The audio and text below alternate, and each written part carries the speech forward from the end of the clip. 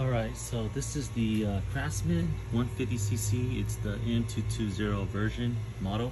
I know there's a few that's around this um, price range or look. Um, this is one that I just picked up for sale at uh, Lowe's actually. Here's the price paid. So you know that it's sold as is. They did offer to return it within 30 days. So the issue with it that I'm gonna get to is the self-driving is messed up. It's not messed up entirely, as I'll dive down and try to figure it out. So as of right now, uh, let me pull down on the uh, throttle. I'm just gonna give it one quick tug. So that just proves that it was, it is working and I might be cutting in and out from the video so I'm gonna show basically what I'm gonna do next which is which is pop open this to to take a look at the uh, uh, basically the self-driving or the driving feature. It's a front wheel drive. It's a belt driven design so it's gonna take a little bit of opening. And the issue that I discovered when I was looking at it at the store was that this cable the uh, it's a special designed cable I can't really name the exact design of it, but looks kind of like a mu mushroom if you think about it. If you were to put it right side up, and uh, it's it's gotten it's basically slipped off the. It's got this much slack. As you can see, as I tug it, you'll see this move. Watch. See, there you go. So it's pretty much got an issue where it slipped off, whatever it did. So I bought it knowing that if this was just the issue, I should be able to fix it with these tools. So nothing special. So I'm gonna start opening it up and and see what I can do and then see if I can fix it. And then if I do, then I got a good deal. All right, so to edit it, I added two more tools. This one was fine, but um, I needed something with the extension, so I just grabbed this. It's still number 10. I took out the two bolts on the side right here. Uh, boom, boom. And then these two thicker looking ones, they're still number 10. They're actually underneath, located like on each end underneath, but uh, I just disconnected it for now. I'm just working from the top though. And I uh, used the star hex Torx. Took off the one bolt right here.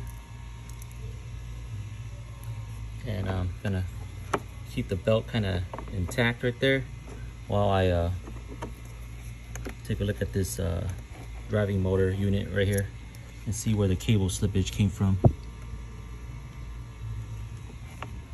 Okay, so I, what I did was I I didn't show on video, so I basically popped out this uh, cable in for this housing off the little uh, little handle right here that holds it, and then uh, it's right there where my my middle finger's uh, kind of tapping on and I slid it through this um, groove right here. So I'm gonna drop it back in and I'll, before I put this on, then I'll show you how it looks like.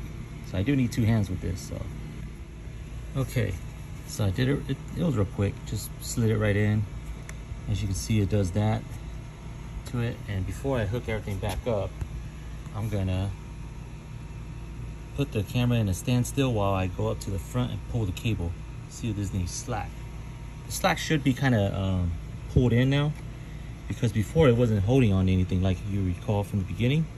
So when I pulled the cable up here, it was, there's no retraction, you know, because it's not, it's not, it's basically out, out of place. So, so that's one of the flaws with this um, unit that I noticed because this thing's plastic and I feel like it could slip off again. I'll try to do something to keep it on. So I'll try something in a moment. Okay, and now I'm gonna pull the cable.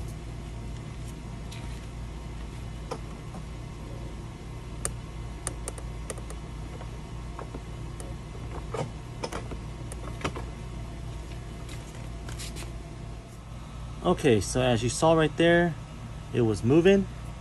So everything looks good. So time to put it on and test out the drive feature.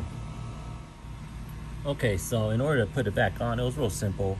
Uh, like I said, everything's done off camera, but it's super simple. Just, uh, you know,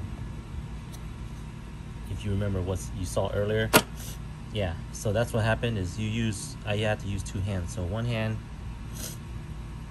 pulls this uh, this uh, unit down while this just caps it off on top. And then you just put the bolt on. That should be it. All right, so it's pretty much on. And um, gonna basically test it out real quick and see how it looks. All right, so this is test one. So I'm gonna pull down on the throttle, use my hammer here, pull it up to crank it on, crank it to on.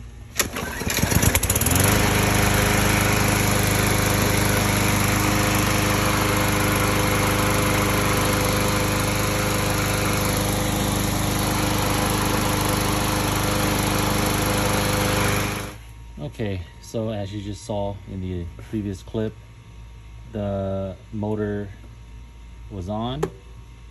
I hit the uh, self-driving switch below. It was able to uh, spin these two front wheels. I even lifted it off the ground. You see it spun. That just shows that it's working now. So the only issue I would see is, or have, is this thing slipping out in the future as far as I know, I'm gonna leave it the way it is. And I'm gonna, I could use that epoxy or something to kind of glue the, the, the little cutouts so that way it keeps it on, but it's okay. I'm just gonna leave it the way it is. And uh, there's a little extra bonus I'll do at the end. So this will conclude the project. And I did end up using extra tools at the end. I ended up grabbing this one on top. And my allergies kicking in pretty bad. So I gotta get going so yeah that's how you this is like the hood so that's how you uh you know do it. It's on.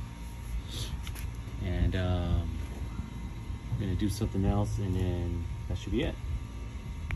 All right so one last thing that I wanted to kind of do is uh, in order to prevent headache from just disposing the uh, grass out of the bag right here is to realign the cable. So the way I'm going to do is, as you see, I'm going to slowly, softly bend it along this.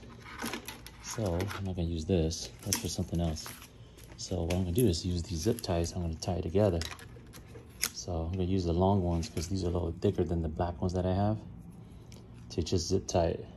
And then like how it's zip tied right there from the factory. But I'm going to do it with my own. So all right. Just like that. Just basically clipped it clipped it kind of turned it this way. Turn it this way for now.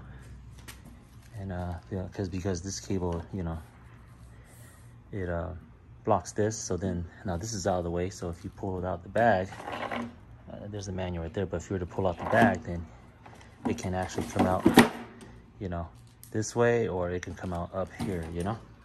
Much better. So it works out pretty good Alright, so a moment of truth before I bring it over is I'm gonna give it a quick cut.